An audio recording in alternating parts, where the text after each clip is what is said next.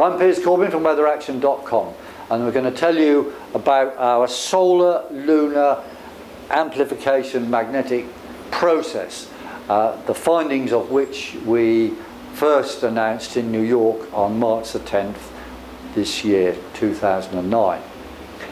Uh, what this is about is a new understanding of how the moon modulates the rush of particles that come from the sun. So very symbolically, the sun on my right, 93 million miles away, and the Earth, and these magnetic connections change with the magnetic cycle of the sun. And that affects how the sun affects the Earth, in particular the Earth's magnetic field. But also the moon is orbiting around the Earth, and that also interrupts the solar wind. And there are very important connections between the phase of the moon's orbit, the plane of the moon's orbit as it goes around, and the magnetic phase of the sun's cycle, the sun's 22 year magnetic cycle.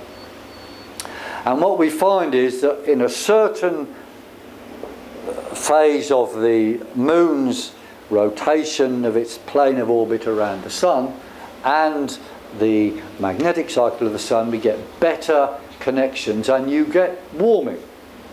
And generally speaking, this warming happens uh, in a lunar period defined by having uh, sol solar eclipses um, around the uh, early part of December and uh, uh, the sun being in its odd cycle just after its maximum. And at those times, when those coincidences are closest, we get the highest temperatures.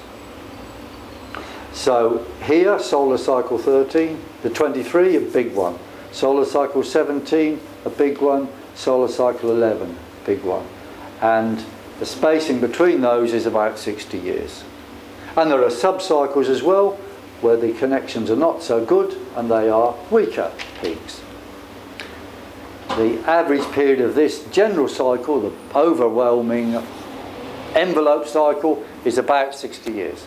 And that is, the, that is also the driver of what's called the Pacific Decadal Oscillation. The temperature of the Pacific Ocean, the circulation of the Pacific Ocean goes in an overall variation of 60 years, which is why the temperature of the USA, the biggest cyclical change in temperatures in the USA is 60 years. So understanding the basic parameters which describe this cycle is the SLAM process. And of course this leads us to our ability to make long range climate forecasts. Namely this super peak of a number of things is a super peak, which means we're going to have a general decline in overall temperatures, a bit like this in reverse for the next century or so, which is why we are predicting world cooling. Although we're also coupling that with the need to understand what the sun itself is going to do in that uh, in the next hundred years, which of course is why we work with uh, astrophysicists dealing directly with the sun as well. The SLAM is a big advance for weather action uh, and we will be publishing details of it uh, in the near future and we will discuss it further at our special conference on October the 28th this year. If you need further information, please visit our website, weatheraction.com, or email me, piers at weatheraction.com. Thank you.